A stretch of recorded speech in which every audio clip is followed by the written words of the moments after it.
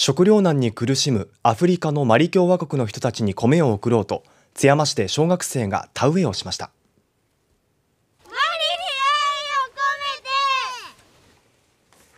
合言葉を言いながら一本一本丁寧に苗を植えていきます。津山市の高野小学校は食糧難に苦しむアフリカに送る支援米を26年にわたり続けています。今日は2年生と5年生およそ130人が学校近くの水田で絹光の苗を植えました。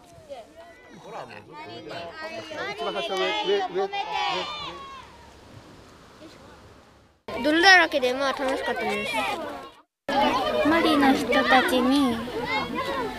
気持ちが伝わるように。お米になってほしいです児童が植えた米は9月中旬に収穫され12月にマリ共和国へ送られます